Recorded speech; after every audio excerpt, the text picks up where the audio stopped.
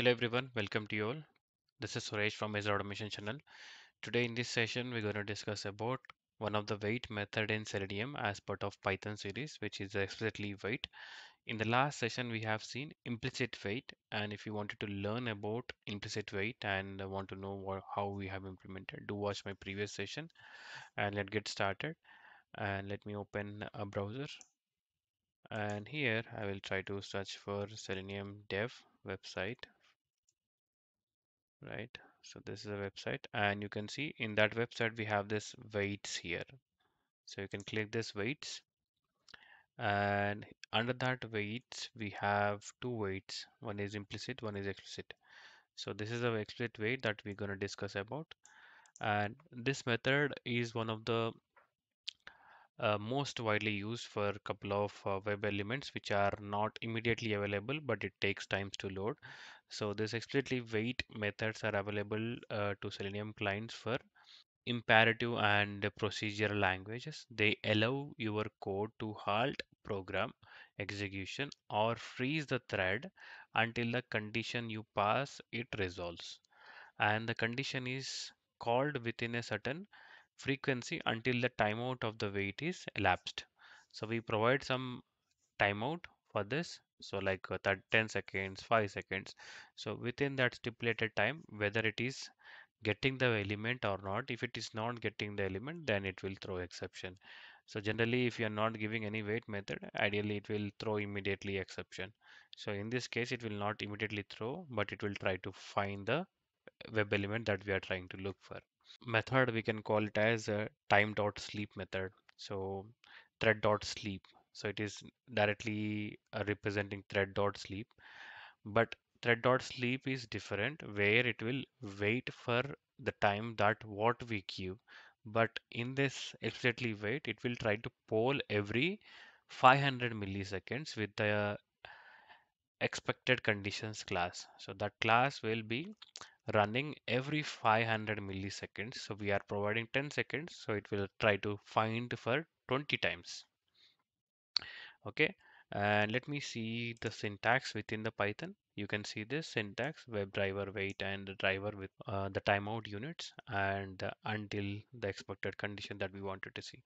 So this might be a little uh, boring concept. Let's jump into the actual uh, PyCharm and see how we can start coding. So this is the last session uh, code. I wanted to use the same everything uh, syntax because to save some time. So I'm gonna create a new Python file.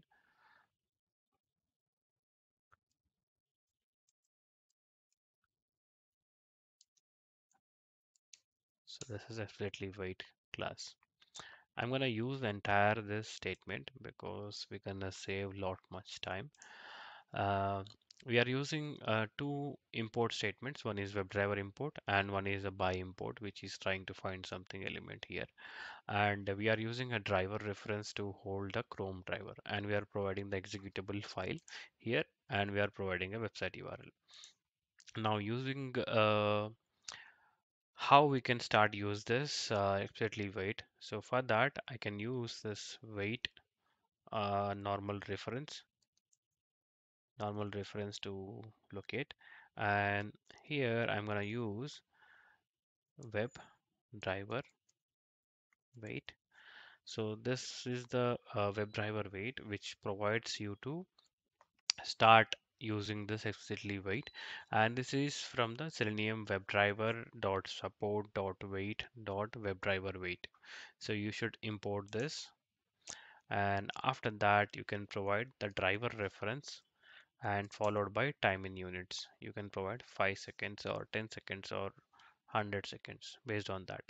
And after that, we have to use the until condition condition. So before that, uh, we need to import one package. So here you can see I have imported Selenium uh, WebDriver support dot wait, and we're gonna use the one more import statement, which is Selenium dot uh, WebDriver dot support import uh, that will be expected conditions So this is a statement that we need to import and we can name this as aliasing this like uh, as uh, EC. We can mention as aliasing EC. So you can use expected condition or you can directly use EC. EC refers to the expected conditions here. So expected conditions dot. So we have many methods available within this class. So which is of uh, element to be clickable, visibility of web element located, presence of element located. So these are all things that are provided in the website as well. You can refer to this website. So you can see this expected conditions. We have these are the expected conditions that you can use. There are a couple of more expected uh, conditions we have. So you can use uh, based on your need, uh, based on the purpose of the web element that you are trying to locate. So here I'm gonna take as element to be clickable.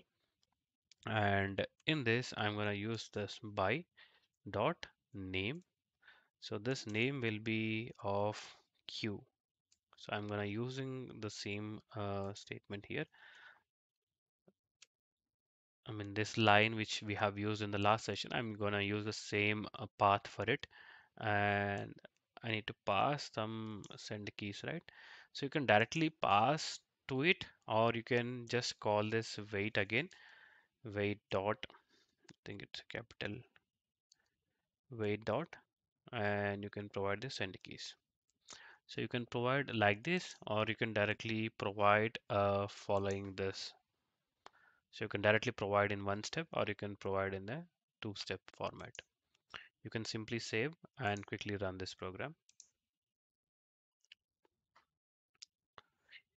And now it has started the execution.